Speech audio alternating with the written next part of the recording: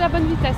C'était vraiment une journée extrêmement intéressante pour moi, pouvoir participer à l'effort et la dynamique de la Fondation Lacoste qui représente des valeurs, la ténacité, la persévérance qui étaient si chères à René Lacoste. L'effort c'est de donner des moyens à des associations dans différents pays comme le Maroc, la Tunisie et puis aussi en France. Et aujourd'hui, à travers l'effort de la Fondation et de ces associations, on permet à ces jeunes de s'émanciper euh, et de vraiment se découvrir à travers le sport, Aujourd'hui, nos jeunes invités par la Fondation euh, Lacoste ont la chance de pouvoir participer à une compétition aux côtés d'une professionnelle et de vraiment échanger avec elle aussi. Donc ces deux aspects euh, vont vraiment leur apporter énormément euh, pour continuer à travailler dans le même sens.